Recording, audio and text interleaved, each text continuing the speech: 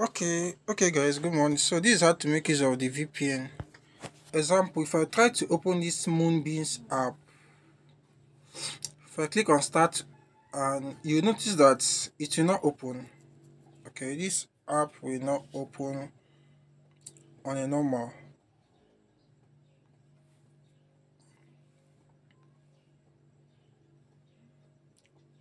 It will not open so all I need to do I'll go and switch on my VPN so I'll go to my this is my Windscribe VPN here. I click on Windscribe.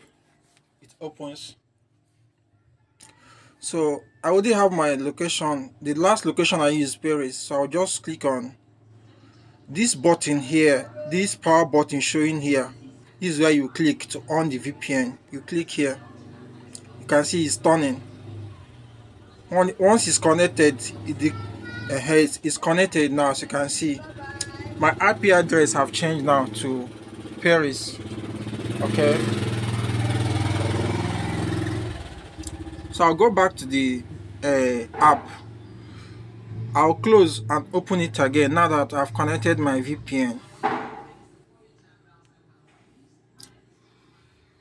you see that the app will open now as you can see because I've connected VPN to another country.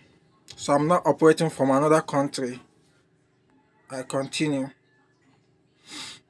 As you can see. So this is how to make use of the VPN then when you are done when you are done interacting on this particular game this is actually the one of the first game that require us to use VPN okay?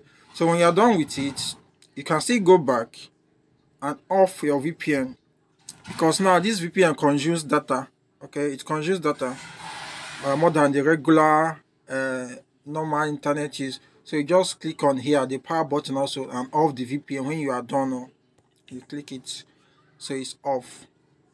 So this is how to make use of the VPN